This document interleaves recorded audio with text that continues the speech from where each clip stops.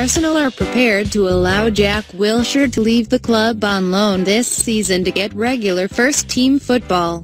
Wilshere has been limited to two Premier League appearances off the bench so far this season after his preseason campaign was slowed by any injury.